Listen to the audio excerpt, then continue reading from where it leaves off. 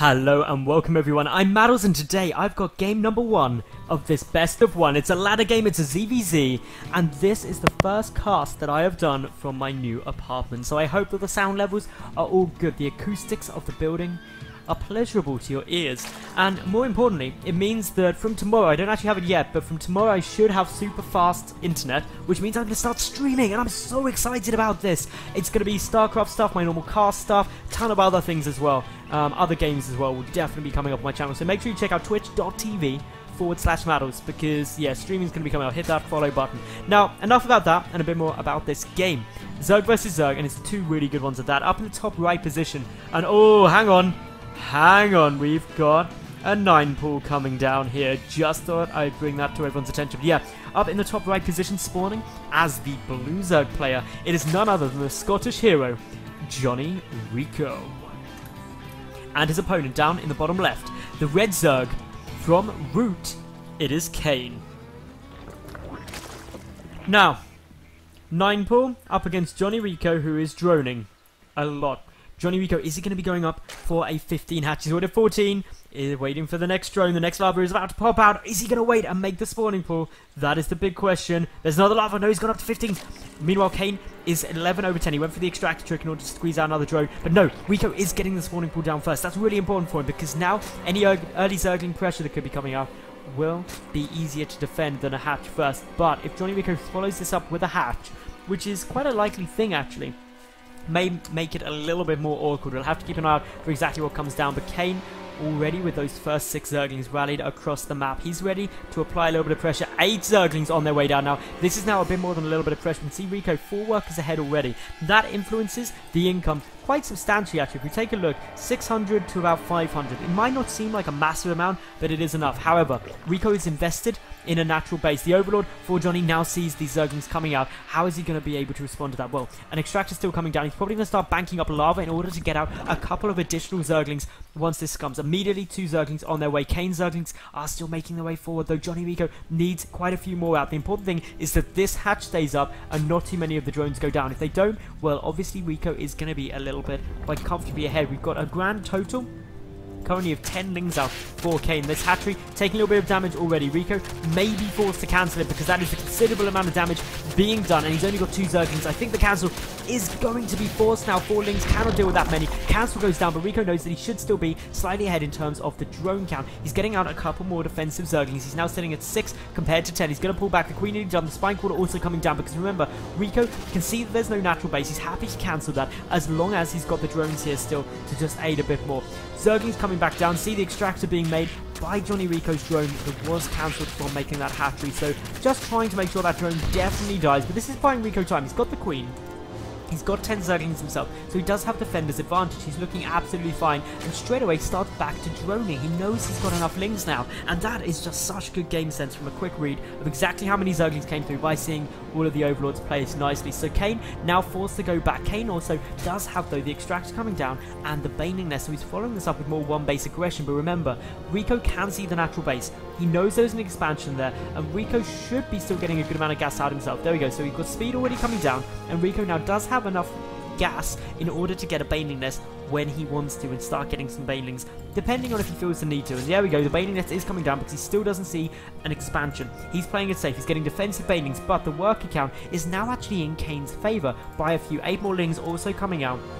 This is going to be some very interesting holds coming down here. It's going to come down to some incredibly aggressive Ling Bling Micro. What Rico could be really good doing is bringing this queen and putting it on the ramp doubling it up, making sure that Speedlings and Banelings can't punch through, and then he could afford to drone a little bit harder, and that would allow him to get an economical lead. But at the moment, 17 workers on each side. JonnyREcco about to grab three more, though. Creep spread starting to move forward. The advantage of this is just one, unit can get there quicker, but two, a Spine Crawler can be brought further forward, and the Spine Crawler around here would be able to start picking off any Banelings that try to make their way through.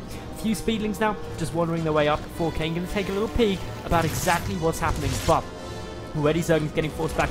Not sure if the Banelings were seen, but quite a few Speedlings there. In come a good group of Banelings for Kane now. He's got six of them. They're coming up the ramp. Is this going to be able to get held? Well, defensive Banelings nearly done. The Queen's doing a good job of trying to take some of these out. Good Baneling connections there for JonnyREcco. He keeps one additional Baneling up, but we see Kane already speeding in here with a good number of Zerglings. But can JonnyREcco get the sort of connection with the Baneling that he so desperately requires? Even if these Speedlings just keep running around, guess what? That means they're going to be coming up against the Queens. They're going to be coming up against the Spinecrawler. And Kane now forced back. JonnyREcco with 10 more Zerglings of his own. He's going for the counter aggression. He knows he came off well then. We can see from the resources lost, it was very well. 781 resources lost, all minerals. Oh, sorry, a couple of gas as well, 150 gas, compared to 456 of Rico. Rico going to be very happy with that. Defensive Banelings are coming down a drone as well. Kane is going to try and expand the mince of this. So he is going to be playing very, very bravely. More speedlings coming down though. Rico should have the speedling numbers at the moment on the low ground at least. Up in the high ground though, Kane is one more speedling ahead and some banelings. So Rico's taking his expansion, morphing in a couple of banelings of his own up on the high ground there. But we'll see the two banelings defensively. Wants to try and trigger a detonation. Can he do it? Not quite. Using a single speedling to kill a baneling or two, two zerglings for a is a perfectly good trade. That is the sort of thing that Rico's going to be looking for. He's got these two Banelings that can sneak their way forward. That could do something good. Three Banelings for two would be a nice trade for Rico here. He's going to try and go for it. Can he get the connection that he needs? One goes off, two goes off, but no, two Banelings for just one. That's going to be very frustrating. Meanwhile, back up at home, JonnyREcco does have a couple of Banelings here. Kane, though, getting ready to move forward. He's got more Banelings waddling from every direction. For two Lings, for one Baneling, of course. Good trade. Definitely something you're worthwhile looking at. We've still got the pressure coming in.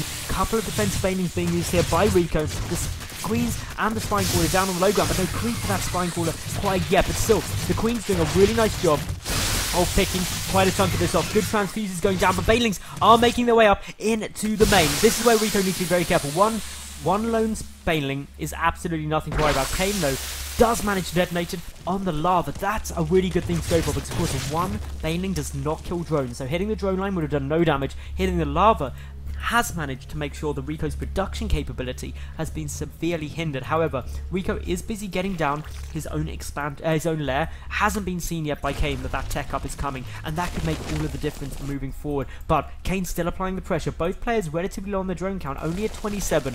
But JonnyREcco with the lair with some more drones and the additional gas is getting the tech advantage. However, Kane with the Roach Warren may have the option to go for some kind of tier 1.5 push that is going to be absolutely devastating if Rico is unable to get that lair tech working in his favour. So definitely something to keep an eye out for. Rico going up to all four gases. Meanwhile, Kane, he's only just now taking his second gas. One of the main, one of the natural. To have a lot less gas, but a lot more larva and also a couple more drones. He's up at 32 drones to 28. JonnyREcco's to be a bit mineral staff, but can get some great tech out. And Kane able to sneak a couple of speedlings up around here, but JonnyREcco, remember, does still have the banelings down. He's got them in a relatively nice position.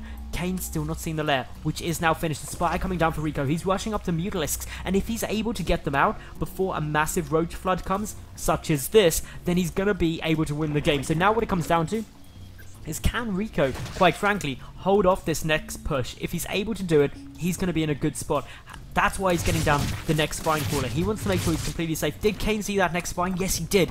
These additional spines say my opponent is going Mutalisk. The reason it says that is because why else would they be investing all of that money into ground defense? The answer, there is no reason that you'd be getting that down, especially this early before this roach shove has been seen.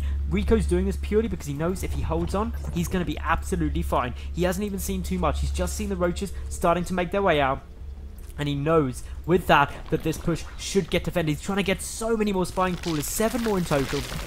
Whole ton of Banelings ready to start defending. Kane trying to move forward as quickly as he can. The Roaches are making their way up, but these Spinecrawlers nearly done now. JonnyREcco banking up a good amount of gas. All he's got to do is hold this push off, remember, and he's in an amazing spot. Down come the Spinecrawlers, and Kane is in a lot of trouble. He needs to try and break through as quickly as he can, but I just don't know if he's going to be able to do it, especially with so many defensive Banelings here for Rico. As long as the Banelings detonations are good, and remember, two for any more than two It's going to be a good trade like that. It's going to be good, massive trade there. While the first wave of Spine Spinecrawlers go down, will it be enough to squeeze? Trying to block off some of these units getting through, but in come all of the Banelings for Kane. They are going to do a devastating amount of damage. They're pushing in, trying to knock down as many spines as possible, but it's the main base where Kane can happily start moving up and into. JonnyREcco now rushing out a couple more speedlings. He needs quite a considerable amount more though, but in comes Kane. The drone's getting pulled down towards an action. Spire nearly done.